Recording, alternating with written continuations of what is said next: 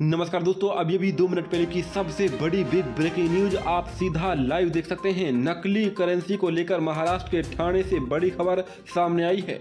यहाँ Thane crime branch की unit पाँच ने पालघर से दो हज़ार रुपए के जाली नोट बरामद किए हैं, जिनका मूल्य करीब आठ करोड़ रुपए आंका जा रहा है। ये नोटों के बंडल आप देख सकते हैं। हैरान मत होना, क्योंकि यह नकली नोट है, न कि असली नोट। इस दौरान क्राइम ब्रांच की टीम ने दो लोगों को गिरफ़्तार किया है।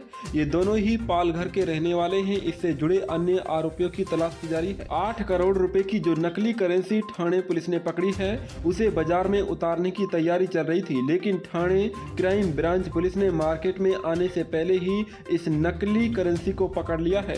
नकली करेंसी के साथ थाने क्राइम ब्रांच ने पालघर से दो लोगों को भी पकड़ा है, जिनसे पूछताछ की जा रही है। वहीं दोस्तों रिपोर्ट के मुताबिक थाने क्राइम ब्रांच पुलिस ने बावन वर्षीय राम शर्मा और पचपन वर्षीय राजेंद्र राउत को पकड़ा है। थाने क्राइम ब्रांच की माने तो आरोपी पालघर के रहने वाले हैं, नकली नोटों को बाज़ार तक पहुँचाने का काम कर रहे थे।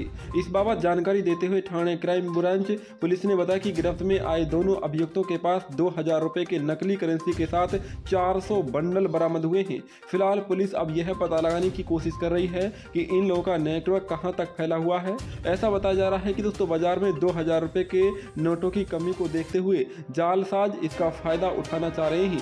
लेकिन उससे पहले, दोस्तों, ठाणे पुलिस ने इस गैंग का भांडा फोड़ दिया है।